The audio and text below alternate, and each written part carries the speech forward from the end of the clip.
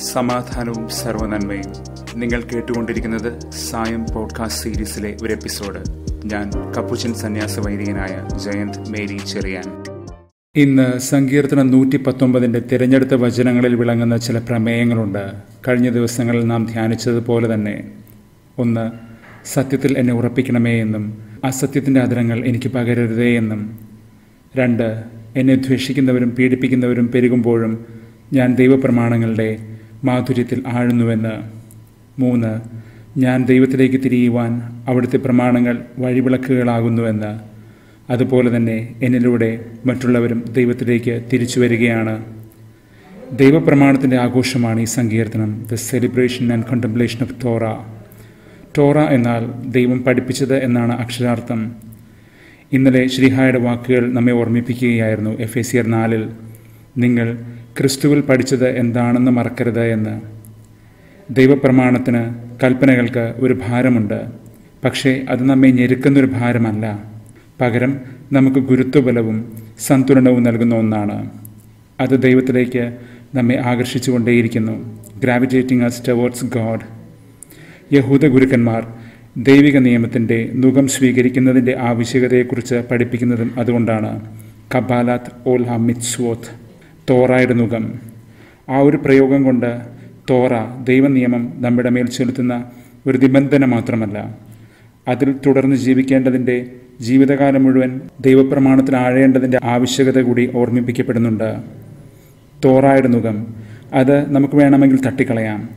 പക്ഷേ അത് തട്ടിത്തെറിപ്പിച്ച് കളഞ്ഞാൽ ലോകം നമ്മുടെ ചുമരിൽ അമർത്തുന്ന ഭേദിക്കാനാകാത്ത മുഖങ്ങൾ നമ്മെ ഭാരപ്പെടുത്തുമെന്നും ഈ ഗുരുക്കന്മാർ ഓർമ്മിപ്പിക്കുകയാണ്.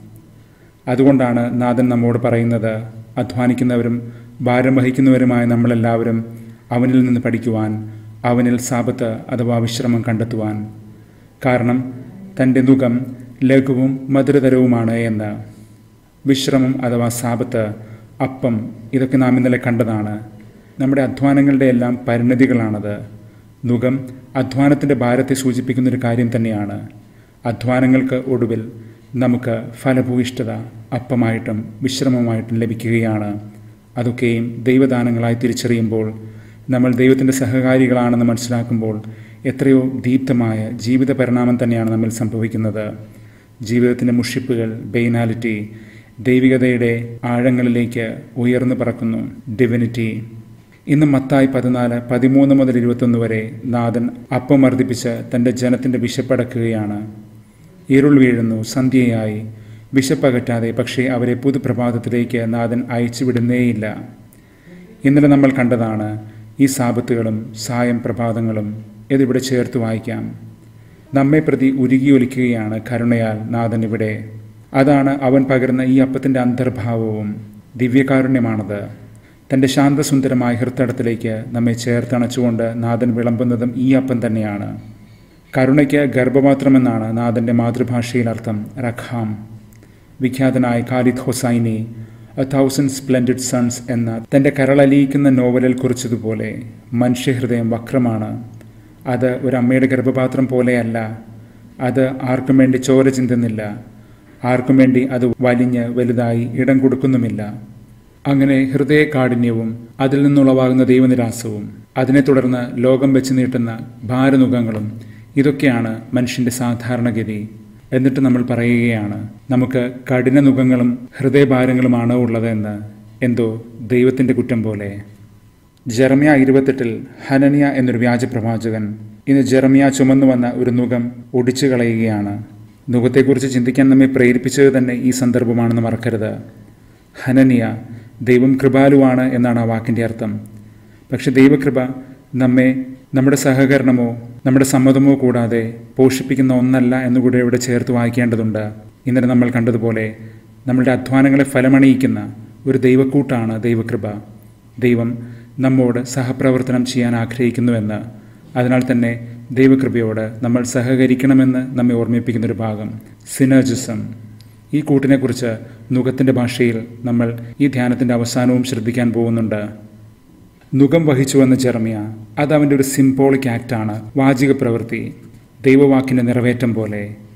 ബാബിലോണിന്റെ നുഖം ഇപ്രകാരം ജനത്തിന്റെ മേൽ പതിക്കുമെന്ന് നാഥൻ ജെറമിയ വഴി അറിയിക്കാൻ ശ്രമിക്കുകയാണ്. അപ്രിയമായൊരു സത്യം പോലെയാണത്. അതിനാൽ ജനപ്രിയമായൊരു സത്യത്തെ ചമയ്ക്കാൻ ഹനനിയ ശ്രമിക്കുന്നു. ദൈവവചനമല്ലാത്തതിനെ അവൻ ദൈവാവിഷ്കാരമായി പ്രവചനമായി അവതരിപ്പിക്കുന്നു.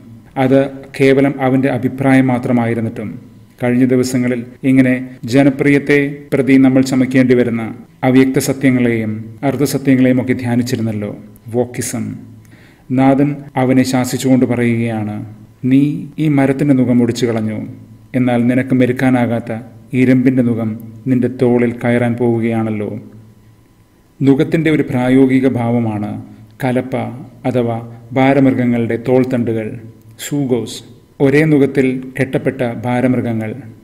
ഒരേ നുഖത്തിൽ കെട്ടപ്പെട്ടവർ എന്നൊരു പ്രയോഗം വിശുദ്ധ ഗ്രന്ഥത്തിലുണ്ട്. സുസൂഗി നമ്മളും ക്രിസ്തുവും ഒരേ നുഖത്തിൽ കെട്ടപ്പെട്ടവരാണ് എന്നൊരു തിരിച്ചറിവുമുണ്ട്. അതിനാൽ അവൻ നമ്മെ ഭാരപ്പെടുത്തുകയല്ല ചെയ്യുന്നത്. അവൻ നമ്മുടെ ഭാരങ്ങൾ വഹിക്കുകയാണ് ചെയ്യുന്നത്. ഇതാണ് ദൈവവും നമ്മളും തമ്മിലുള്ള ആ സഹപ്രവർത്തനം. സിനർജി. മാത്രമല്ല നമ്മൾ നടക്കേണ്ട ആ വഴിയെ ചാരിനെ ഈ നുഖത്താൽ അവൻ വരച്ചിട്ട് തരുന്നു. ക്രിസ്തുവിൽ നാം നടന്നു പഠിക്കേണ്ട അതേ വഴി